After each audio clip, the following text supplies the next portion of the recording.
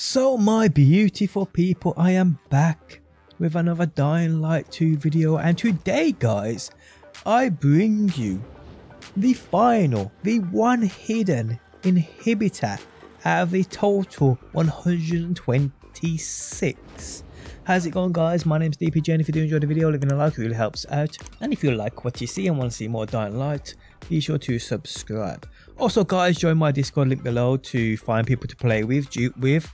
Uh, well, you know the score, guys. Join my Discord. Got a great Dying Light 2 community there, so check it out. Now, before we go any further, credit to TXM Perks for actually showcasing this to me. I appreciate that. Uh, so thanks a lot. Okay, so there are 128 inhibitors in total, which go towards your health and stamina scattered across the entire map. But one, it seems, just one, is undetectable by that inhibitor detector that you have that tells you when you get near one that there's one nearby.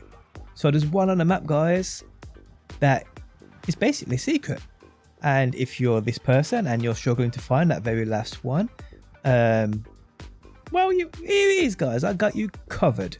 Okay, so pull up your map and you want to go to St. Paul Island, a part of Central Loop.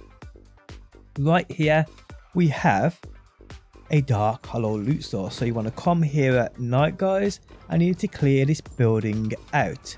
Now, the second room up or third room up, there'll be two big old dirty zombie creature thingies that you need to take out. I just spam my grenades, guys. It just I just wanted to get this done. I just weren't jumping down and getting battered by earthquake and typhoon, so I just I just blew them up, just bombed them to death. Uh, and then there's a a safe in that room which you have to lockpick open, and it gives you the code for the chest in the room above, and you'll see all that on screen now, guys. And you'll get the inhibitor. You'll notice as well, like I said, there's no indication that it's an inhibitor. You get no detection, no ping, no nothing. So yes, if you're missing one and you can't figure out where it is, then here you have it guys. And I hope the video helps you out. If you ain't a collector, you may as well grab this while you're seeing the video because you may forget about it. And when it does come to getting the 126 of them, you may forget. But yeah, guys, I hope it helps you out. If it does, leaving a like really helps me out. And hopefully, people, I will see you on that next one.